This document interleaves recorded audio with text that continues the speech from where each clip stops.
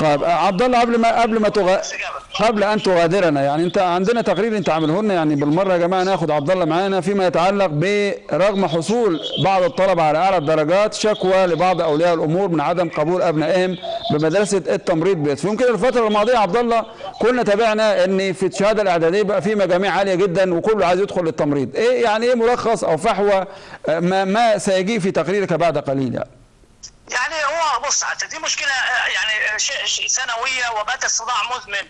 يعني هي في أسوان وفي ناصر النوبة لكن في صورة رهيبة جدا. الحجة هنا الذريعة مسألة الاختبارات الشخصية اللي بيضعوها للاختبارات اللي بيستطيعوا من خلالها إنه يميزوا طالب عن الثاني. آه. زي ما الطالب يعني مجموع آه، جايب 277 و278 لا يتم الحاقه أو قبوله بالمدرسة. ويتم قبول طالب أقل منه في المجموع بحجة إنه حاصل على درجات أكثر في الاختبارات الشخصية، أنا شفت بعيني يا أستاذ خالد اختبار الإملاء.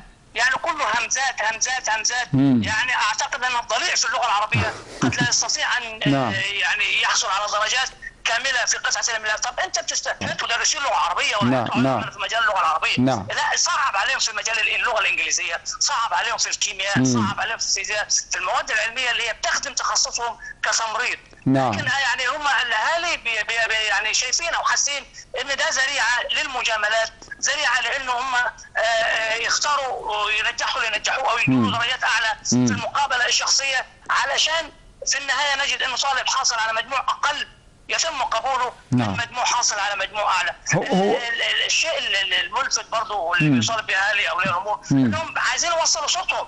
السيد المحافظ آه، بعض الموظفين في مكتب خدمة المواطنين يعني يقولوا لهم لا ده لا مش مش من سلطات المحافظ. يعني إيه آه. مش من سلطات السيد المحافظ السيد المحافظ هو حاكم الإقليم وله كافة السلطات في مراجعة هذه الاختبارات ومراجعه هذه النتائج. هم بيرفعوا لنا اوراق طبعا السيد المحافظ بيصدق عليها على طول لكن لا يعني عايزين إعادة نظر مرة أخرى في طيب أنا أنا أنا سأضعك في مكان المسؤولية. يعني أنت الآن رئيس اللجنة ومطلوب منك أن تختار 100 طالب كي يدخلوا مدارس التمريض ومتقدم لك يتقدم لك 200 من الطلبة يعني.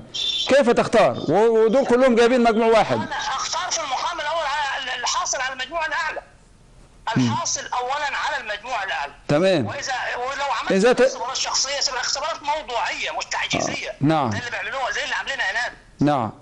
يعني إحنا عايزين السيد ال- ال- ال- المحافظ لو يطالب منهم يقولوا هاتوا لي قطعه الامل اللي أنتم نزلتوها وامتحنتوا فيها الأول. يعني الأفضلية الم... الأفضلية الم... الأفضلية المطلقة تكون للمجموع اولا للمجموع اولا وبعدين دول طلبه يعني تخيل طالب جايب 276 من 280 أعتقد لو لو كملوا وبعضهم قال إحنا أولادنا بمقدورهم إنهم يكملوا ويحصلوا في الثانوية العامة على هذا المجموع نعم. يدخلوا كلية الطب لكن ربما لظروفهم الاقتصادية أو لأي سبب ما عايزين هم يدخلوا ويلتحقوا بمدارس التمريض عشان يضمنوا إنه منهم مسيرتهم التعليمية مبكرا ما عندهمش المقدره على انه نفقات كلية الطب نعم. يضمن ليه وظيفة في النهاية نعم. فانا ليه أحرمه؟ ليه نعم. أحرمه طالب حاصل على مجموع عالي واختار مجموع. أقل منه حتى لو بدرجة أو درجتين اولا مع عبد الله بحييك على التقريرين عموما وسنتابع الآن ما ما أجريته من لقاءات مع بعض الأهالي وبعض أولياء الأمور وبعض الطلبة فيما يتعلق بالقبول مدارس التمريض. شكرا زميلنا العزيز زميل عبد الله الأنصاري. شكرا جزيلا. لك اذا سنتابع عبد الله مرة أخرى ولكن من خلال هذا التقرير. كونوا معنا. شكرا تفضل.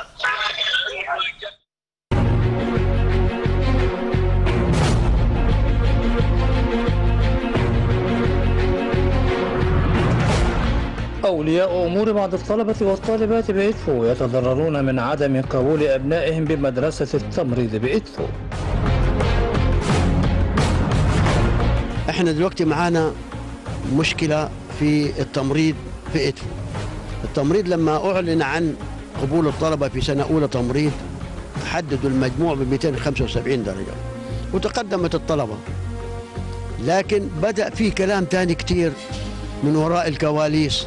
يشيلوا ناس ويحطوا ناس ويقدموا وبعدين يعملوا اختبار إملأ علشان يسقطوا الأولاد. أنت ده لو داخل ده مش داخل المخطط الكلية عشان يدرس في الحاجات دي باللغة العربية. يعني امتحان تعجيزي في الإملأ ب- عشان بسببه يسقطوا بعض الأولاد. عيل جايب 279 درجة. يعني ده حتى لو غششته في الامتحان لو كان يعني مستواه مش كويس عمره ما هيجيب ال 279 لكن ما تسقطوش يعني وتاخذ أبو 275 أو 270 عبد الجمعة عضو مجلس أمناء بمدرسة التمريض بيدفو طبعا المشكلة اللي بنواجهها حاليا مشكلة شكوى أولياء الأمور من آه، الأسئلة التعجيزية في قدرة الإملاء ومن عدم قبول أبنائهم. على الرغم أن هم أولادهم يعني مجاميع عالية والمفروض يتاخذ بالمجموع الأعلى. ثم النزول في الأقل في الأقل. ولكن فوجئنا أن في مجاميع عالية لم تقبل وفي مجاميع أقل منها آه، قبلت. فدي مشكلة عامة وإحنا إن شاء الله نتمنى أن هي تجد حل يعني لدى المسؤولين في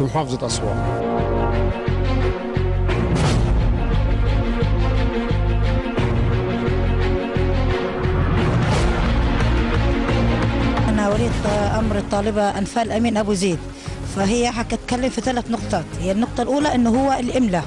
هو ملى قطعة إملاء يعني هو أصلا النطق كان غلط أصلا. وغير كده كثافة الفصل الفصل كان مليان طلبة فهو بيملي بصوت واطي. وفي كذا واحد بيدخل واحد يملي مثلا يمد واحد مثلا ي... واحد يعمل مثلا مد بالألف وواحد يجي تاني يم- يملي الاملاء بنطق الثاني فهو في تناقض في إيه؟ في اللفظ. فهو الوقت نفسه ما كانش فاضي. أنت أديتني قطعة املاء لو أتحدى أي حد إنه هو يتملاها فهو أداني عشر دقائق أو أقل من عشر دقائق أخذ فيهم الطالب ما عرفش يتملى. الوقت ما كانش كافي. وغير كده كثافه الفصل. الصوت كان واطي. فهو عجز الطالب ما عرفش يتملى. غير كده انت اعتمدت على المجموع. من العام الماضي انت قلت أنا هعتمد على المجموع الطالب. أنا مثلا بنتي جايبة 276 انت قلت هاخد من 275 واطالع فأنا بنتي جايبة 276 فأنت ما اعتمدتش على الحاجات دي كلها. ومديني قطعة إملاء أصلا تعجيزية للطالب. في مشكلة تانية برضو برضو أحب أنا أتكلم فيها وهي في مدرسة الريديسية ال- اللي انطبق عليهم المجموع اللي 275 أربعة طلبة. أربع طلبة اللي اتقبلوا وما فيش طلبة تاني الأربعة دول جابوهم قال ضيفوهم إلى الفصل اللي اتفتح في مدينة إدفو طب يعني معنى كده إن ما فيش فصل في الريديسية وممكن السنة الجاية يبقى كذلك. يبقى في ثلاثة أو خمسة أو ستة. يبقى فيش لا أولى ولا ثانية بعد كده ما فيش مدرسة. لا أنت تنزل بالمجموع لل- للمنطقة الريديسية عشان تكمل الفصل. أو تجيب من أي منطقة قريبة من الريديسية. بحيث تستكمل الفصل لكن ما ما, ما تقولش ما فيش فصل نهائي.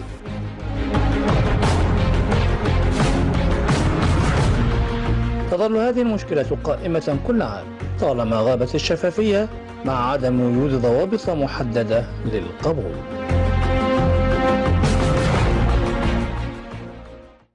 طيب أنا هاخد من كلام عبد الله في النهاية عدم وجود ضوابط محدده للقبول زي الثانوية العامة مثلا أو الدبلومات أو أي حاجة والالتحاق للمرحلة الأعلى ال- الأولوية والافضليه تبقى للمجموع الأعلى. طيب لو تساوينا في المجموع بيبقى في مقابلة شخصية لكن ما ينفعش إن إحنا ندخل مقابلة شخصية وبعدين افاجئ بيبقى اللي أقل من المجموع دخل. فأنت خلاص اعمل ضوابط الأعلى مجموعا. فالأقل. فهو انزل بهذا المجموع وزي ما قال أحد المواطنين في الآخر أنت الرئيسيه عندك أربعة طلبة بس اللي انطبق عليهم الشروط وبعدين اضطريت مش هتفتح فصل أو مدرسة على أربعة فبالتالي تنقلهم لادفو فما الداعي في هذا الأمر؟ نتمنى يبقى فيه حلول عملية الحقيقة لأن برضو عشان نبقى نتكلم بشفافية في تخوف من من المجاميع اللي هي زايدة يعني. إحنا على أيامنا ما كانش في حد بيجيب 276 من 280 أو حتى 270 من 200 قليلين على الأوائل بس اللي بيبقوا على مستوى المحافظة. يبقوا 10 الأوائل يعني. اللي بيجيبوا في 270 إنما بعد كده ال- ال- المتفوقين بيبدأ من 220 إنما 276 تلاقي مثلا 300 400 واحد جايبين كده فبرضه في شكوك في إن الناس دي طالعة بغش. دي مسألة برضه والناس أنا هعمل ضوابط إزاي؟ فعشان كده بيبقى المتقدم عدد المتقدم أكبر من المطلوب. آه، حتى بقول لعبد الله حط نفسك مكان رئيس اللجنة. عندك 5000 واحد عايز 100 مثلا. لكن أنت عامل ضوابط عشان ما بيبقاش في محل الشكاوى. أنا باخد أعلى مجموعا وخلاص. في النهاية يعني. هم لو في رد برضو من إدارة التمريض في المديرية مديرية الصحة بأسوان يردوا على هذه المشكلة. لأن برضو ما أنا ما أعرفش هل الناس دي في عدم دستورية في إن باخد الأقل مجموعا. يعني إحنا على أيامنا مثلا في كلية إعلام قسم إذاعة وتلفزيون وصحافة وعلاقات عامة لما بنتساوى في المجموع بيعمل مقابلة شخصية لكن ما فيش حد بيدخل أقل مني. مجموع بيدخل قسم لا. فهي دي مسألة برضو محتاجة لإعادة نظر.